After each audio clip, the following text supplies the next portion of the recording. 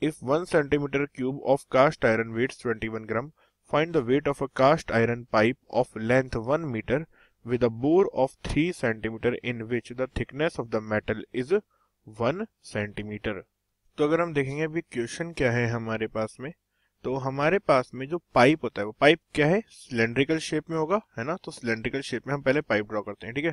तो ये हमारे पास में पाइप हो गया। अब ये पाइप में बोर्ड पाइप है हमारे पास में तो मीन्स इसमें इंटरनल रेडियस और एक्सटर्नल रेडियस दो चीज़ें होंगी, ठीक है? तो इंटरनल रेडियस और एक्सटर्नल रेडियस दो चीज़ें होंगी हमारे पास में, है ना? अब इसे हम समझते हैं, ठीक है थोड़ा सा तो हमें गिवन है क्या? कि length one metre with a bore of three centimetre है ना? तो बोर थ्री सेंटीमीटर का मीनिंग है कि ये जो हमारे पास में बीच में जो बोर का मीनिंग क्या होता है कि वहाँ पे मेटल नहीं है। तो जो हमारे पास में मेटल नहीं है टोटल एरिया वो कितना है? थ्री सेंटीमीटर ओके और हमें गिवन है थिकनेस कितनी है मेटल की? वन सेंटीमीटर तो ये जो डिस्टेंस है, ये कितनी है हमारे पास में?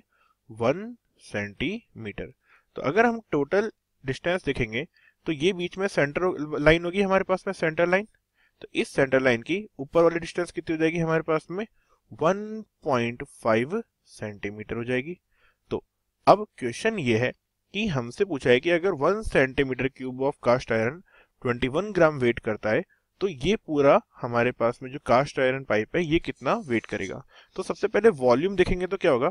हमारे पास में, अगर मैं इसकी इनर रेडियस देखूँ तो रेडियस इनर कितनी है हमारे पास में? तो इनर तो हो जाएगी three by two which is equal to one point five centimetre और आउटर रेडियस क्या हो जाएगी? उसमें हम देखेंगे विर्थ कितनी है हर एक की? वन सेंटीमीटर तो हो जाएगा one point five plus one is two point five centimetre तो अब वॉल्यूम क्या हो जाएगा? तो वॉल्यूम होगा हमारे पास में pi r square r square is what two point five का स्क्वायर आउटर रेडियस के एरिया में से हम इनर रेडियस का एरिया सेपरेट करेंगे। तो आएगा two point five into two point five और इसमें से सपरेट करेंगे one point five into one point five ये क्या है? ये तो एरिया लिखा है। अब लेंथ कितनी है? वन मीटर है। सी हमारा जो ये साइड से ये सेंटीमीटर में थी और लेंथ है मीटर में तो उसे मैं सेंटीमीटर में चेंज कर लेता हूँ। तो देखा हंड्रेड सेंटीमीटर क्यूब। तो वॉल्यूम कितना हो गया? ये। अब देखते हैं पूरी वैल्यू का कि पाई क्या होता है हमारे पास में। पाई होता है ट्वेंटी टू बाई सेवन। अब 2.5 point five into two point five, ये कितना जाएगा? 6.25 तो आएगा 6.25 ओके?